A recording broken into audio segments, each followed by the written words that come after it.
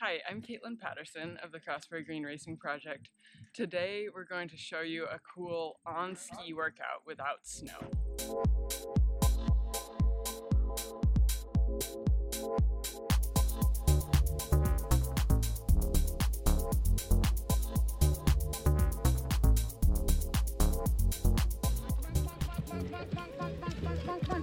This workout is grass speeds and it's great because it gives us the feeling of skiing without being on snow.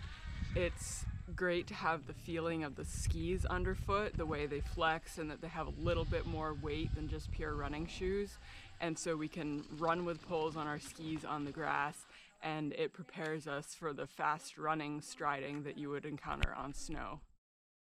Today we're going to take you along on one of our grass ski workouts.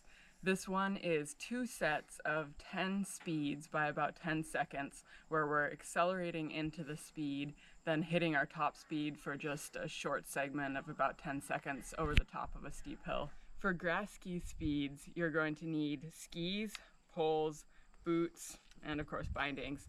Um, for poles, I like to use bounding poles that are shorter than classic length because we're using a pretty steep hill and it makes it so you can stay over your poles a little better. Skis, pick some older skis. Um, we sometimes leave them waxed to start out with, but then the, the grass and the gravel will scrape it off and give them a little bit of scrape, so definitely not your favorite pair of skis.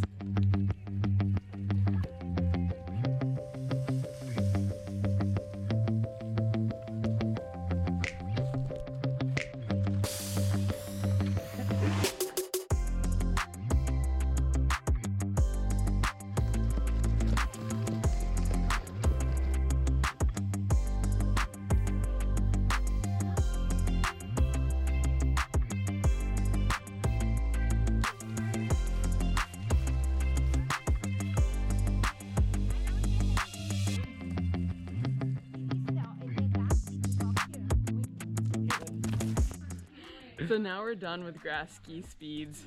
Make sure you get a good cool down and watch out for the sore hip flexors you might have the next day.